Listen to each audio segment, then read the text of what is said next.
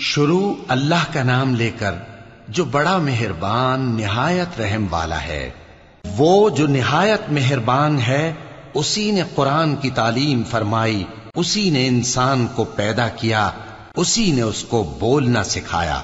سورج اور چاند ایک حساب مقرر سے چل رہے ہیں اور بوٹیاں اور درخت سجدہ کر رہے ہیں اور اسی نے آسمان کو بلند کیا اور میزان عدل قائم کر دی۔ کہ اس میزان میں حد سے تجاوز نہ کرو اور انصاف کے ساتھ ٹھیک تولو اور تول کم مت کرو۔ اور اسی نے خلقت کے لیے زمین بچھائی، اس میں میوے اور کھجور کے درخت ہیں جن کے خوشوں پر غلاف ہوتی ہیں۔ اور اناج جس کے ساتھ بھس ہوتا ہے اور خوشبودار پھول۔ تو اے گروہ جن و انس، تم اپنے پروردگار کی کون کون سی نعمت کو جھٹلاؤ گے؟ اسی نے انسان کو ٹھیکرے کی طرح کھن کھناتی مٹی سے بنایا اور جنات کو آگ کے شولے سے پیدا کیا۔ تو تم اپنے پروردگار کی کون کون سی نعمت کو جھٹلاؤ گے؟ وہی دونوں مشرقوں اور دونوں مغربوں کا مالک ہے۔ تو تم اپنے پروردگار کی کون کون سی نعمت کو جھٹلاؤ گے؟ اسی نے دو دریا رواں کیے جو آپس میں ملتے ہیں، مگر دونوں میں ایک آڑ ہے کہ اس سے تجاوز نہیں کر سکتے۔ تو تم اپنے پروردگار کی کون کون سی نعمت کو جھٹلاؤ گے؟ ان دونوں دریاؤں سے موتی اور مونگے نکلتے ہیں، تو تم اپنے پروردگار کی کون کون سی نعمت کو جھٹلاؤ گے؟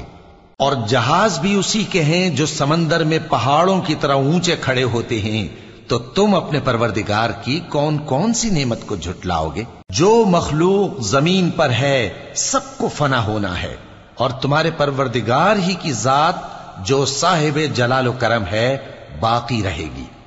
تو تم اپنے پروردگار کی کون کون سی نعمت کو جھٹلاؤ گے؟ آسمان اور زمین میں جتنے لوگ ہیں سب اسی سے مانگتے ہیں۔ وہ ہر روز کسی نہ کسی کام میں ہوتا ہے۔ تو تم اپنے پروردگار کی کون کون سی نعمت کو جھٹلاؤ گے؟ اے دونوں جماعتوں، ہم ان قریب تمہاری طرف متوجہ ہوتے ہیں۔ تو تم اپنے پروردگار کی کون کون سی نعمت کو جھٹلاؤ گے اے گروہ جن و انس، اگر تمہیں قدرت ہو کہ آسمان اور زمین کے کناروں سے نکل جاؤ، تو نکل جاؤ۔ اور زور کے سوا تو تم نکل سکنے ہی کہ نہیں۔ تو تم اپنے پروردگار کی کون کون سی نعمت کو جھٹلاؤ گے تم پر آگ کے شولے صاف اور دھواں ملے چھوڑ دیے جائیں گے، تو پھر تم ان کا مقابلہ نہ کر سکو گے تو تم اپنے پروردگار کی کون کون سی نعمت کو جھٹلاؤ گے؟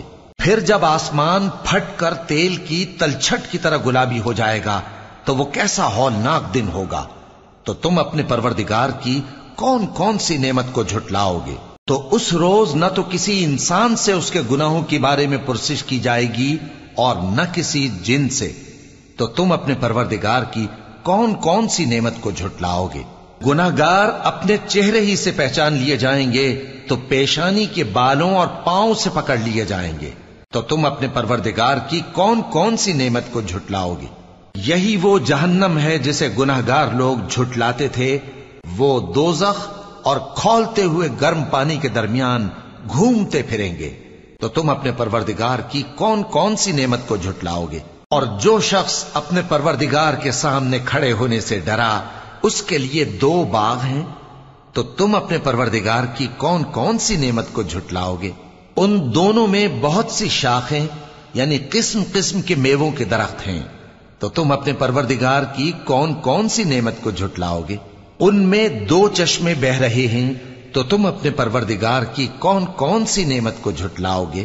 ان میں سب میوے دو دو قسم کے ہیں تو تم اپنے پروردگار کی کون کون سی نعمت کو جھٹلاؤ گے؟ اہل جنت ایسے بچھونوں پر جن کے استر اطلس کے ہیں تکیا لگائے ہوئے ہوں گے اور دونوں باغوں کے میوے قریب جھک رہے ہیں۔ تو تم اپنے پروردگار کی کون کون سی نعمت کو جھٹلاؤ گے؟ ان میں نیچی نگاہ والی عورتیں ہیں جن کو اہل جنت سے پہلے نہ کسی انسان نے ہاتھ لگایا اور نہ کسی جن نے۔ تو تم اپنے پروردگار کی کون کون سی نعمت کو جھٹلاؤ گے؟ گویا وہ یاقوت اور مرجان ہیں۔ تو تم اپنے پروردگار کی کون کون سی نعمت کو جھٹلاؤ گے؟ نیکی کا بدلہ نیکی کے سوا کچھ نہیں ہے۔ تو تم اپنے پروردگار کی کون کون سی نعمت کو جھٹلاؤ گے؟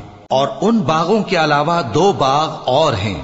تو تم اپنے پروردگار کی کون کون سی نعمت کو جھٹلاؤ گے؟ دونوں خوب گہرے سبز۔ تو تم اپنے پروردگار کی کون کون سی نعمت کو جھٹلاؤ گے؟